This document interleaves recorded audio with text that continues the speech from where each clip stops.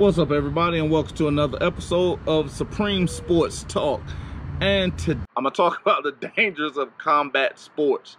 And the reason being is because this week we've had not one but two boxers die after fighting in the ring. One was Hugo Alfredo Santillan probably mispronounced that one, but I'm gonna have it down there so you can at least look it up, see it, whatever. And we had Maximum Dadashev of Russia. Again, gonna have a picture of them so you can at least see who I'm talking about, because I probably butchered their names. Now, the one thing I want to talk about is the fact that yes, we know that it is a dangerous physical sport we constantly hear people such as Deontay Wilder speaking about how the brain isn't designed to take that type of impact. We look at fighters such as Tommy Hearns, Muhammad Ali later in their lives where the constant basic punches to the head have caused irreparable damage.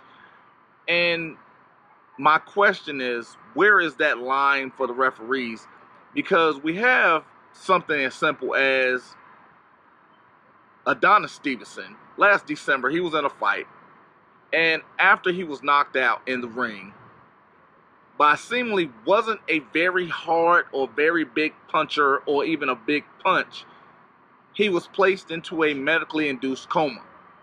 He remained in that coma at least two to three weeks and, you know, very late into that, he began moving his hand, began moving his arms.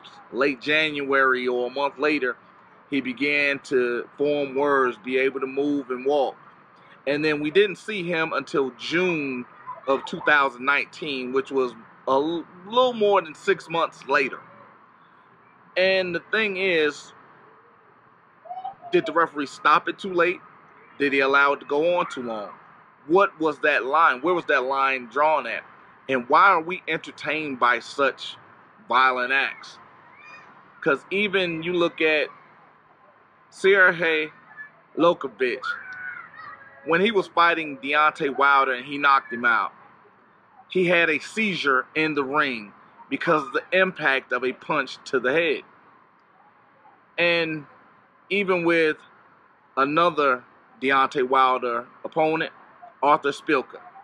He was viciously KO'd by Challenger this weekend.